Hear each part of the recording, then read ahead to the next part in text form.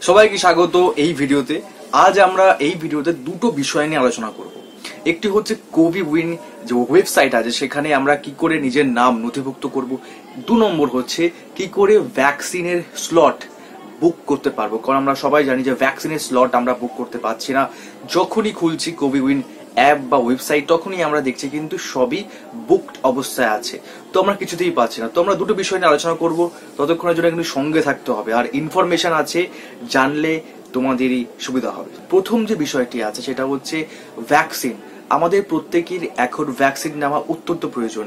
সেই কারণে কিন্তু আমরা চেষ্টা করছি যে ভ্যাকসিন জোগাড় করার। সরকারের তরফ থেকে একটি ওয়েবসাইটের ব্যবস্থা করা হয়েছে, যার নাম হচ্ছে কোভি উইন সেখানে আমাদের প্রত্যেককে নাম নথিভুক্ত করতে হবে। তো কীভাবে আমরা সেখানে আমাদের নাম নথিভুক্ত করব?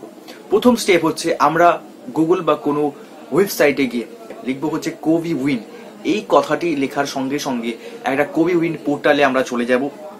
সেখানে ক্লিক করলেই আমরা যে কোভি উইনের অফিসিয়াল ওয়েবসাইট আছে সেখানে আমরা পৌঁছাবো।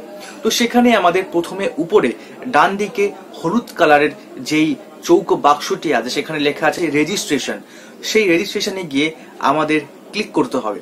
ক্লিক করলেই আমরা দেখতে পারব প্রথমেই আমাদের কাছ থেকে আমাদের নাম্বার একটা চাইছে। তো আমাদের নাম্বার সেখানে পুট করব। নাম্বার পুট করার পর অটোমেটিকলি সেই নাম্বারে একটা ওটিপি আসবে। সেই ওটিপিটি আমরা সঙ্গে সঙ্গে সেখানে আবার পুট করব। পুট করার পর আমাকে একটা ওপেন একটা ফর্ম খুলে যাবে, সেখানে আমাকে বলবে যে আপনি আপনার ডিটেলস এখানে নথিভুক্ত করুন।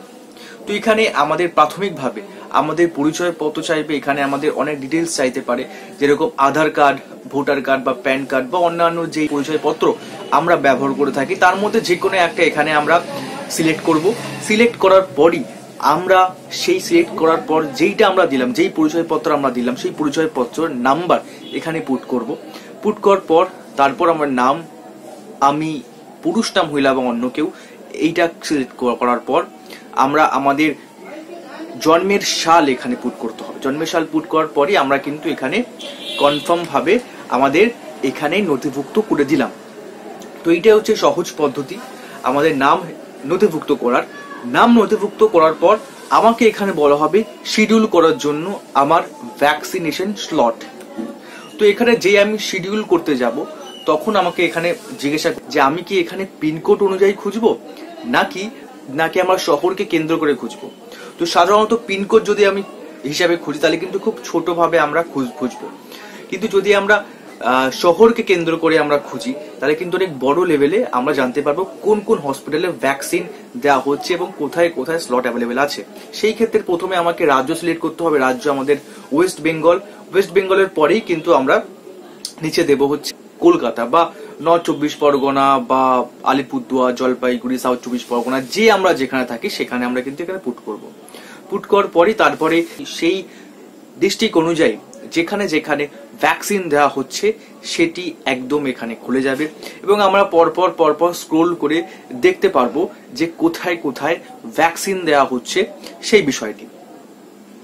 এবং এখানেই যেখানে আমরা দেখব যে অ্যাভেলেবেল আছে, সবুজ বা গ্রিন হয়ে আছে, সেখানে আমরা ক্লিক করব এবং ক্লিক করার পরেই কিন্তু আমাদের একটা টাইম ঠিক করতে বলবে যেই সময় আমি ভ্যাকসিন দিতে চাইব।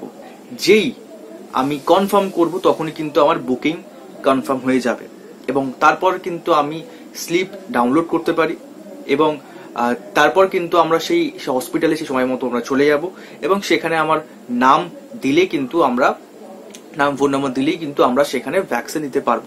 এছাড়াও যদি আমি চাই যে আমার একটা স্লিপ দরকার, তো ওখান থেকে কিন্তু আমি স্লিপ একটা ডাউনলোড করে নিতে পারি আমার ফোনে এছাড়াও যদি আমি মনে করি যে, না, শুধুমাত্র আমি দেখতে চাই যে এখন ভ্যাকসিন অ্যাভেলেবেল আছে কিনা, তাহলে আমরা কি করে দেবো তাহলে কিন্তু আমরা সেই একই রকম কোভিন পোর্টালে যেতে হবে। কোভিন পোর্টালে গিয়ে আমাকে নিচে আসতে হবে। নিচে সেই একই রকম ভাবে ডিস্ট্রিক্ট রাজ্য এবং ডিস্ট্রিক্ট বা পিনকোড যেরকম ভাবে আমি খুঁজতে চাইব, সেরকম ভাবে খুঁজবো এবং খোঁজার পরই কিন্তু আমরা সেখানে দেখতে পারব যে কোথায় কোথায় অ্যাভেলেবেল আছে, কোথায় কোথায় অ্যাভেলেবেল নেই। আশা করি আপনারা জানতে পেরেছেন যে ভ্যাকসিনে জন্য কি করে নিজের নাম আমরা কোভিউইন ওয়েবসাইটে নথিভুক্ত করব এবং কি করে আমরা শিডিউল করব, এই বিষয়টি আপনি জানতে পেরেছেন। যদি আপনাদের এই ভিডিওটি ভালো লেগে থাকে, তাহলে অবশ্যই লাইক করুন এবং মানুষের কাছে পৌঁছাতে শেয়ার করুন। যদি কিছু বলার থাকে, অবশ্যই কমেন্ট করে জানাবেন এবং পার্ট টু অবশ্যই দেখতে ভুলবেন না, কারণ পার্ট টুতে কিন্তু ভ্যাকসিনের জন্য কি করে স্লট বুক করব বা কি করে নোটিফিকেশন আসবে, সেই বিষয়টি বলা আছে। তো পার্ট টু অবশ্যই দেখবেন। ততক্ষণের জন্য টাটা, আবার দেখা হবে অন্য একটি ভিডিওতে, অন্য একটি ব্লগে